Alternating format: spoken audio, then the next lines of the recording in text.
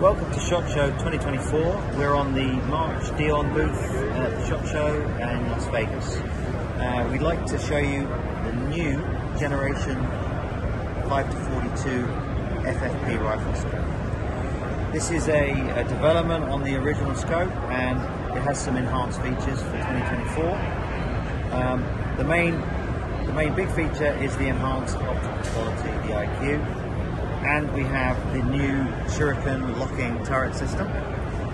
Um, Mary, can you explain to us about the new lens system? Yes, of course. Uh, so this it has a high master lens system, which incorporates two super ED lenses.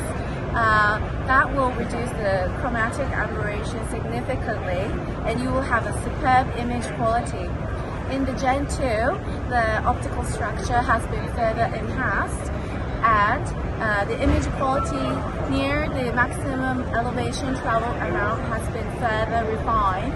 So you will be able to fully use the whole elevation travel amount, which is 130 MOA or 40 mil. Also, this features the temperature anti-drift lens system, meaning that it will naturally adapt to temperature shift and maintain focus and clarity at all conditions. It is amazing scope. This scope um, has been used quite successfully in ELR. I use one myself and I really like it a lot. So with the enhanced features, with the, the, the large elevation travel, um, we think it's going to be a winner. Um, so this will be available later this year. Uh, slightly different, slightly increased price on the on the old model, but not too bad. Um, and we think this will do very, very well. Yes, and the other thing is that this has a wide field of view, uh, which is 26 degrees. Uh, current uh, standard models have 20 degrees, so there will be a 30% increase, uh, meaning you will have a IMAX theater. It will sphere. be Oh we yeah, sphere. sphere. It will be a sphere. It will be amazing. So leading on from this model, we have a prototype concept model. Now you can probably already see the difference between this. So the idea uh, with this scope is we'd like to remove all the variables that cause problems with scope alignment, mounting, uh, potential crushing of the scope body. So this has an integral mount. Now that bolts directly to the scope body.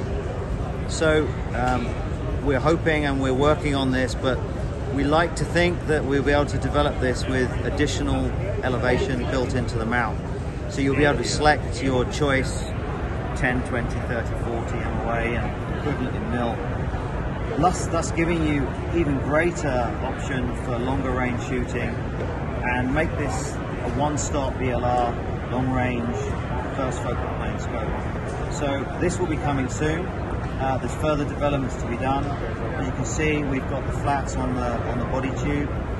Cosmetically, I think it looks good, but it's uh, it enhances the way the scope's mounted. This has the same internal configuration, the same lenses, the same turrets. It's just the mounting system that uh, is different, which personally I think is, is genius. I think it's great. Thank you very much. Thank you.